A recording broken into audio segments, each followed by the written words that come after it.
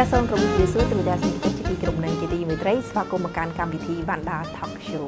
នៅក្នុងថ្ងៃនេះនេះខ្ញុំអាណាសូមលើកយកនៅប្រធានបទមួយតាក់ទងទៅនឹងម្ចាស់ JVP នៅក្នុងកម្មវិធីស្ដាច់ម៉ាស៊ីនគិតលេខរដូវកាលទី3ឆ្នាំ2022 តកតងជាមួយនឹងការប្រឡងជ្រើសរើសស្ដេចម៉ាស៊ីនគិតលេខនេះផងដែរគ្រូទស្សនិកជនគឺការប្រឡងនេះបានបញ្ចប់ទៅជាស្ថាពរដែលយើងគឺបានធ្វើការស្វែងរកនៅម្ចាស់ជីវភាពចំនួន3រូបហើយហើយពួកគាត់ក៏បានធ្វើការអញ្ជើញចូលរួមនៅក្នុងការជជែកវែកញែកតកតងទៅនឹងការប្រឡងនៅក្នុងកម្មវិធីនេះតើជួបនៅបញ្ហាអ្វីខ្លះតើពួកគាត់ជួបឧបសគ្គអ្វីនិងពួកគាត់ត្រូវត្រៀមខ្លួនអ្វីខ្លះដើម្បីទទួលបានជ័យលាភីនៅក្នុងកម្មវិធីដូច្នេះកុំឲ្យខាតពេលយូរជួបជាមួយនឹងពួកគាត់តែម្ដងចា៎ជំរាបសួរអូនចាជំរាបសួរចាជាដំបូងចង់ឲ្យខាងឆ្វេងណែនាំឈ្មោះសិនណាទៅទស្សនិកជនជាដំបូងនាងខ្ញុំសូមគោរពជំរាបសួរដល់ទស្សនិកជនទាំងអស់ជាទីគោរពនិងជាទីមេត្រីនាងខ្ញុំឈ្មោះវងស្រីពៅបច្ចុប្បន្ននាងខ្ញុំគឺជានិស្សិតកំពុងសិក្សានៅវិទ្យាស្ថានវណ្ណដាចំនួនទី20វគ្គ2ហើយនាងខ្ញុំក៏ជាម្ចាស់ JLP ក្នុងកម្មវិធីនេះផងដែរអូន ជំរាបសួរទស្សនិកជននាងខ្ញុំឈ្មោះ Din Theri សប្តាហ៍ថ្ងៃនេះខ្ញុំគឺជានិស្សិតចំនួន20វគ្គ2នៃវិទ្យាស្ថានវណ្ណដាហើយនឹងខ្ញុំក៏ជាម្ចាស់ JLP លេខ2ក្នុងការប្រឡងប្រកួតប្រជែងស្អិតកាសផងដែរចាអរគុណច្រើនជាមួយនឹងសុកតុកសុកតុកយ៉ាងណាដែរបច្ចុប្បន្ននេះបន្ទាប់ពីការប្រឡងរួចតើ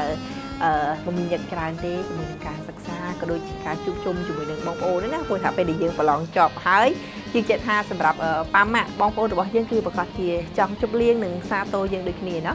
ចាបងសុខសប្បាយធម្មតាបងហើយចំពោះការសិក្សាឬមមាញឹកបន្តិចបន្តួចបងដោយសារតែទៅតែចូលឆ្នាំសិក្សាថ្មីឆ្នាំទី3ដែលមានមុខវិជ្ជាថ្មីថ្មីត្រូវស្វែងយល់បន្ថែមបងចាបងហើយជាមួយនឹងប៉ាម៉ាក់វិញពេលដែលប្រឡងហើយបានជ័យលាភីនៅក្នុងកម្មវិធីបែបនេះតើប្រាប់ប៉ាម៉ាក់យ៉ាងម៉េចដែរចាបងទៅដល់ផ្ទះភ្លាម អត់មានធ្វើអីបងតែទៅគាត់ភ្លាមហ្មងប្រាប់ថាខ្ញុំប្រឡងជាប់បានលេខ1នៅក្នុងកម្មវិធីស្ដេចម៉ាស៊ីនគិតលេខប្រចាំរដូវកាលទី3នេះបងហើយគាត់សប្បាយចិត្តមែនតើគាត់ថាអត់នឹកស្មានថាខ្ញុំអាចធ្វើបានបងចាបងសម្រាប់បើសិនជាឧទាហរណ៍ថាបងជាសាច់ញាតិចាបងសប្បាយចិត្តជាងទៀតពីព្រោះថាខ្លាចទៅជាម្ចាស់ជ័យលាភីមួយនៅក្នុងកម្មវិធីគឺមិននិយាយនេះទេ គឺយើងត្រូវប្រកួតប្រជែងជាមួយនឹងមនុស្សច្រើនមែនទែនដែលអ្នកដែលមានសមត្ថភាពប្រហាក់ប្រហែលនឹងយើងហើយតម្រុំដែលយើងបាន CLP នេះគឺមិនធម្មតាចាល្អមែនទែនចុះសម្រាប់អូនវិញមមាញឹកច្រើនទៅជាមួយនឹងការសិក្សាក៏ដូចជាតកតងទៅនឹងការងារបងសម្រាប់ការសិក្សារបស់ខ្ញុំអត់សូវជាមមាញឹកអីហ្មងទេហើយ ការងារមានហើយឬនៅបច្ចុប្បន្នបច្ចុប្បន្នខ្ញុំមានការងារបងគឺខ្ញុំជាបុគ្គលិកនៅជាស្ថានភាពអូជាបុគ្គលិកហើយเนาะចាបងហើយតកតងទៅនឹងការជូនដំណឹងទៅគ្រូសាវិញតើនៅពេលដែលយើងបានជាប់ភ្លាមភ្លាមណាប្រាប់ទៅប៉ាម៉ាក់ថាពួកគាត់រំភើបខ្លាំងប៉ុណ្ណាការដំបូងដែលខ្ញុំចូលប្រឡងហ្នឹងខ្ញុំអត់ប្រាប់គាត់ទេខ្ញុំគិតថា ពេលដែលដល់វត្តវគ្គផ្ដាច់ព្រាត់ខ្ញុំគិតថាបើសិនជាលទ្ធផលមិនមិនចាំខ្ញុំប្រាប់គាត់តាមក្រោយថាខ្ញុំជាប់ឬក៏ធ្លាក់ដល់ពេលដែលពេលដែលខ្ញុំជាប់ហ្នឹងខ្ញុំឆាទៅប្រាប់គាត់ហើយទៅគាត់ចូលមើលគាត់ថាគាត់គាត់ជ័យវត្តមកគាត់ថាគាត់សប្បាយចិត្តគាត់លំភើបគាត់ថាអញ្ចឹងចាដូចគ្នាមិនខុសពីប៉ាម៉ាក់ទេសម្បីតាបងនៅពេលដែលបានសម្ភាសបងប្អូនណាមានអារម្មណ៍ថារំភើបដូចគ្នាព្រោះថាម្នាក់ម្នាក់សុទ្ធតែជាម្ចាស់ JLP រៀងរៀងខ្លួនហើយ ការទទួលបាននៅពៀននេះគឺគេពន្យល់ខ្លាំងមែនតើណាក្នុងក្នុងមួយជីវិតរបស់យើងនេះមិនមិនមាន10ឆ្នាំច្រើនដងទេអញ្ចឹងឲ្យតែមានឱកាសគួរតែខិតខំប្រឹងប្រែងសេវាចាប់ឲ្យបានណាចាអរគុណច្រើនអូខេឥឡូវយើងចូលមកដល់សំណួររបស់យើងតែម្ដងតកតងជាមួយនឹងការសម្រេចចិត្តណាចំពោះបងអូនផ្ទាល់ហើយដើម្បីបានជាសម្រេចចិត្តដាក់ចូលដាក់ពាក្យចូលរួមប្រឡងនៅក្នុងកម្មវិធីមួយនេះចាបងសម្រាប់ខ្ញុំមូលហេតុដែលខ្ញុំដាក់ពាក្យចូលរួមក្នុងការប្រឡងគឺដោយសារតែទី1ការ ប្រើប្រាស់ម៉ាស៊ីនគិតលេខគឺជាមានមុខងារសំខាន់មួយ នៅក្នុងជំនាញគណនេយ្យដែលត្រូវប្រើប្រាស់ជាប្រចាំថ្ងៃដែលអឺដែលនិស្សិតគ្រប់រូបដែលគួរតែអនុវត្តឲ្យបានច្រើនក៏ដូចជារូបនាងខ្ញុំផ្ទាល់ដែលខ្ញុំអនុវត្តធ្វើឲ្យខ្ញុំមានភាពស្ទាត់ជំនាញហើយមួយវិញទៀតគឺដោយសារតែការប្រឡងគឺជាបទពិសោធន៍ថ្មីមួយសម្រាប់ខ្ញុំដែលខ្ញុំអាចបង្ហាញសមត្ថភាពតាមរយៈការប្រឡងក៏ដូចជាចង់ពង្រឹងនៅភាពក្លាហានមួយ សម្រាប់ខ្លួនឯងផងដែរហើយមួយវិញទៀតក៏មានការលើកទឹកចិត្តពីក្រុមគ្រួសារលោកគ្រូអ្នកគ្រូក៏ដូចជាមិត្តរួមថ្នាក់ផងដែរបង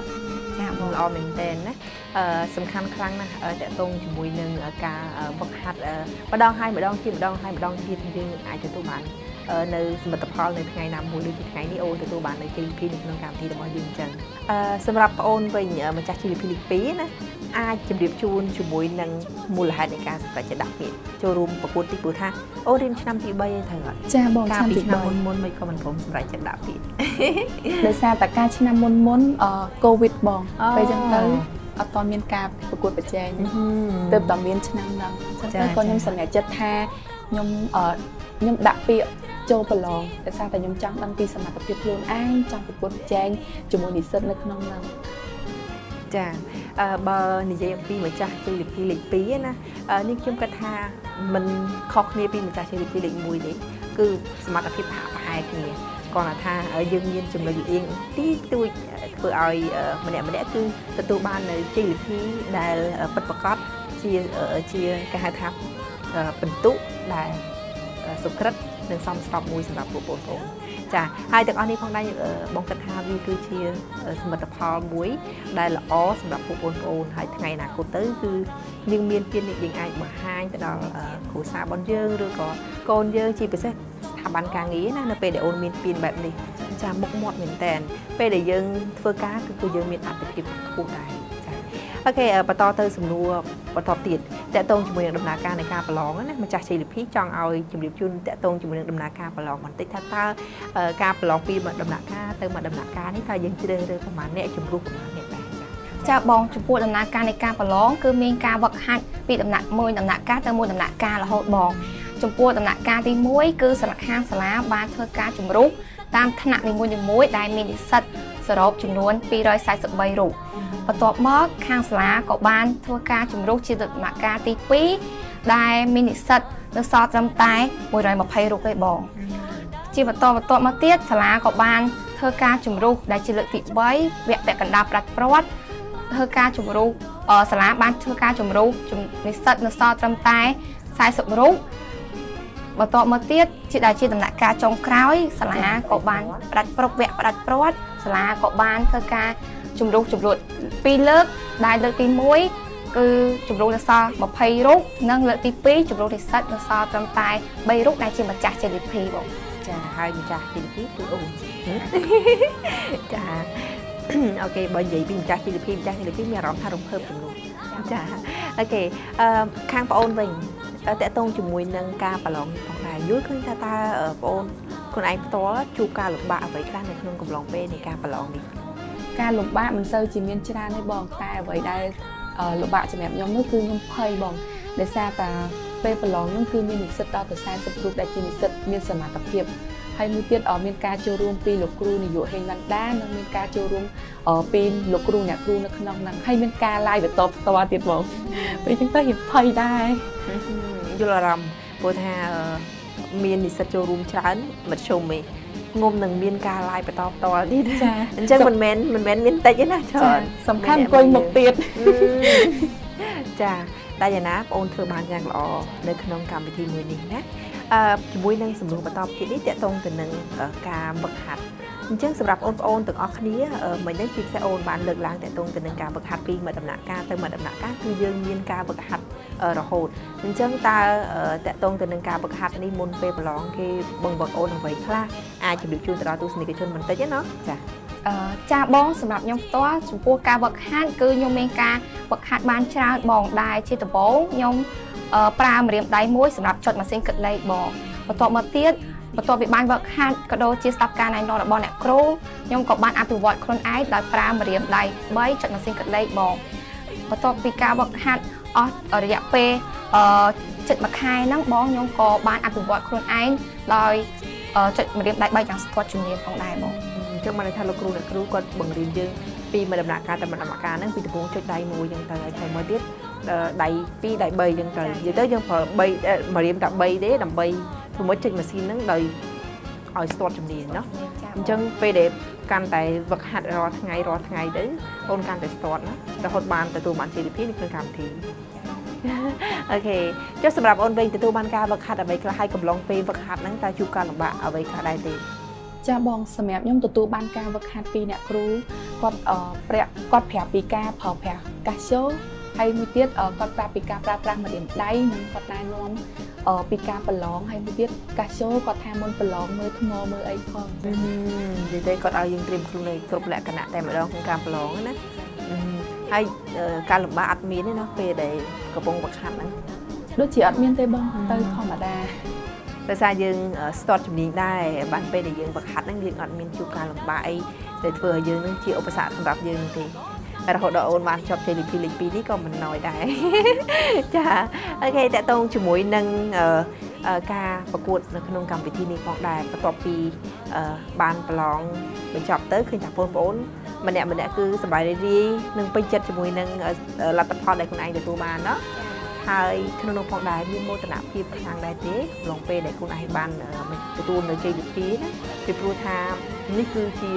លើកទី1សម្រាប់ជីវិតរបស់ពួកអូន ចាក់បងសម្រាប់ខ្ញុំខ្ញុំមានមោទនភាពចំពោះខ្លួនឯងបង ដែលខ្ញុំអាចធ្វើឲ្យក្រុមគ្រួសាររបស់ខ្ញុំក៏ដូចជាសាច់ញាតិបងប្អូនលោកគ្រូអ្នកគ្រូនិងមិត្តភ័ក្តិមានការសប្បាយរីករាយក៏ដូចជាមានមោទនភាពចំពោះខ្ញុំដែលខ្ញុំអាចទទួលបានជ័យលាភីលេខ1នៅក្នុងកម្មវិធីហើយមួយវិញទៀតពេលខ្ញុំទៅណាមកណាមានគេស្គាល់ខ្ញុំច្រើនហើយលោកគ្រូអ្នកគ្រូក៏ស្គាល់ខ្ញុំច្រើនដែរបងចាបងព្រោះថាម្ចាស់ជ័យលាភីនៅក្នុងកម្មវិធីធំនៅប្រចាំសាលាហើយរឿងអីថាគេស្គាល់ចាបងសំខាន់ចង់និយាយថាប្អូន គឺជាបុគ្គលរបស់មហាជនហើយពេលនឹងរបស់និស្សិតនៅទូទាំងសាលាព្រោះថាគេកោតសរសើរទៅលើសមត្ថភាពនិងជំនាញរបស់អូនដែលអូនប្រើនៅសមត្ថភាពរបស់អូនដណ្ដើមយកជាលិពីនៅក្នុងកម្មវិធីដ៏ធំនេះចាចាអរគុណអឺតកតងជាមួយនឹងរង្វាន់នៅក្នុងកម្មវិធីអញ្ចឹងអាចជម្រាបជូនជាមួយនឹងជាលិពីមួយតើបងអូនទទួលបានអ្វីខ្លះនៅក្នុងកម្មវិធី ចាបងចំពោះរង្វាន់ដែលខ្ញុំទទួលបានពីការលើកទឹកចិត្តពីខាងសាលាមានដូចជាបានសរសើរក៏ដូចជាពាន